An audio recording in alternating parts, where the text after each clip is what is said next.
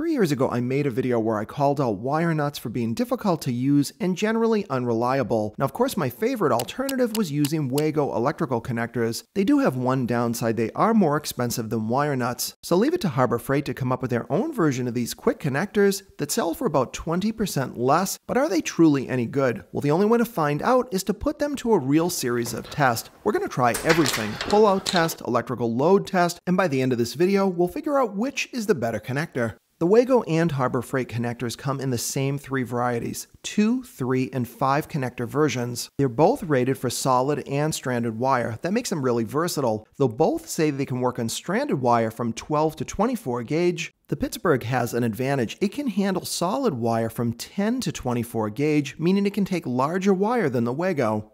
The Wagos have a significant size and weight advantage. I weighed each of the three versions of both brands, and the Wago comes in at about half of what the Pittsburgh does. When you look at these connectors side by side, that size advantage is really important on the Wago. That means you'll be able to fit more of them in a tight electrical box, and that does happen quite frequently. Here we've got 10 of each connector, and you can see it really is significant. One of the most important tests people request is the pull-out test. That's where we insert the wire into the connector, and we pull as hard as possible to see at what point will it break free. Unlike a normal scale, this one has a memory, so once that wire breaks free, it will record the maximum amount of force required to pull it out. Starting with our first test on the Wago, it took 22 kilograms of force, or 48 pounds, which would be the equivalent of about 8 gallons of milk hanging off that wire. Repeating that same test on the Wago, I got a similar 25 kilograms, or 55 pounds of breaking force. My first test on the Pittsburgh achieved 27 kilograms of breaking force, or 60 pounds. The second test was where things got really interesting. It took 48 kilograms of force, or 105 pounds, to break that wire free.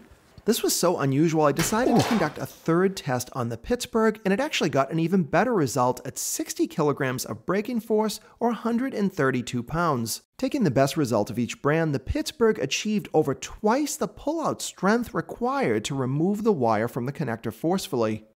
Connectors will always add some level of resistance to a circuit, but the amount of resistance can be critically important, which is why this load test is really going to show which connector is doing a better job electrically. For this test, I'm going to use this Topdon thermal scanner, and this will measure the amount of heat coming off of each of the connectors. To measure it properly, I broke apart an extension cord with three individual wires. There will be a hot, neutral, and a ground. It probably was unnecessary to do all three, but I didn't want to leave anything to chance. And for my load, I will be using an electric heater set to the highest setting, which will consume around 1700 watts. Once the heater is turned on, I'll activate a timer, and at 20 minutes exactly, I will measure the amount of heat coming off each of the three connectors.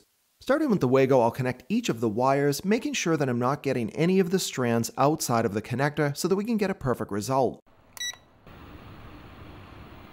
At the 20 minute mark, our first connector is getting 90 degrees Fahrenheit or 32 degrees Celsius.